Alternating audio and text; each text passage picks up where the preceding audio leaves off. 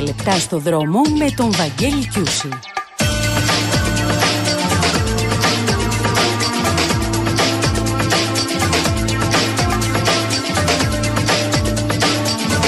Χαίρετε κυρίες και κύριοι, Χριστός Ανέστη, χρόνια πολλά, υγεία σε όλους. Είναι τα πρώτα πέντε λεπτά στο δρόμο μετά το Πάσχα. Όσοι δεν έχετε επιστρέψει, σας θυμίζω χαμηλές ταχύτητες, υπομονή, θα φτάσετε, μην βιάζεστε καθόλου. Βρισκόμαστε σε μια εβδομάδα στο τέλος της οποίας θα έχουμε έναν ακόμη αγώνα για το Παγκόσμιο Πρωτάθλημα Ράλι, αυτή τη φορά στην Κροατία. Αγώνα σε διαδικασίες του οποίου ξεκινούν αύριο 5η 20 του μήνα. Αγώνας με πολύ ιδιαίτερο χρώμα εξαιτίας της απώλειας του Ιρλανδού Greg Μπριν την προηγούμενη Πέμπτη στις δοκιμές του Ράλι Κροατίας. Γι' αυτό και θα δούμε δύο και όχι τρία αγωνιστικά Hyundai. Βαμμένα και αυτά σε ειδικά χρώματα στη μνήμη του Ιρλανδού οδηγού.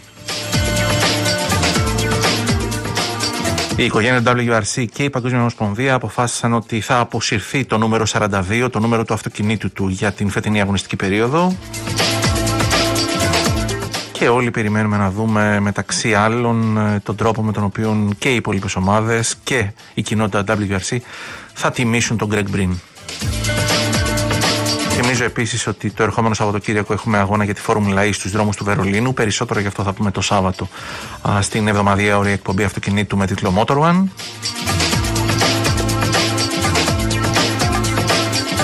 Ερχόμενοι τώρα στις διεθνείς εξελίξεις, ε, αυξημένες ε, κατά 28,8% οι πωλήσεις τον Μάρτιο στην Ευρωπαϊκή Ένωση ξεπέρασαν το 1 εκατομμύριο μονάδες. Πρόκειται για την 8η διαδοχική μηνιαία αύξηση των πωλήσεων στην ε, Ευρωπαϊκή Ένωση.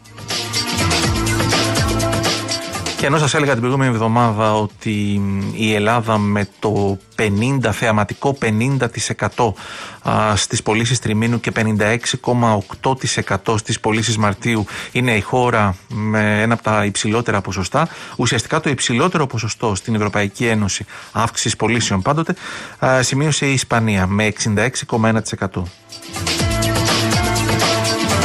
Αυξημένες ταξινομήσεις υβριδικών οχημάτων, ασφαλώς αυξημένες ταξινομήσεις ηλεκτρικών αυτοκινήτων. Τα πρωτεία προφανώς κρατούν τα βενζινοκίνητα οχήματα. Και δύο-τρία στοιχεία που έχουν ενδιαφέρον και αξίζει να γνωρίζετε για την αυτοκινητοβιομηχανία στην Ευρώπη, η οποία απασχολεί 13 εκατομμύρια εργαζόμενους παρακαλώ. Το 11,5% αυτού του αριθμού απασχολείται σε χώρες της Ευρωπαϊκής Ένωσης. Τώρα, 79,5 δισεκατομμύρια ε, ευρώ είναι οι εμπορικές συναλλαγές στην Ευρωπαϊκή Ένωση και 375 δισεκατομμύρια ευρώ είναι οι φόροι που εισπράττουν οι ευρωπαϊκές κυβερνήσεις από την ε, πώληση αυτοκινήτων σχεδόν το 8% του ακαθάριστου α, προϊόντος στην Ευρωπαϊκή Ένωση προέρχεται συνολικά από τον κλάδο της αυτοκινητοβιομηχανίας. Όσο για τον τομέα έρευνας και εξέλιξης, 58,8 δισεκατομμύρια ευρώ α, δαπανώνται για έρευνα και εξέλιξη. Αυτό το μέγεθος, αυτό το ποσό αντικατοπτρίζει το 32% του συνόλου των ε, δαπανών για έρευνα και εξέλιξη στην Ευρωπαϊκή Ένωση.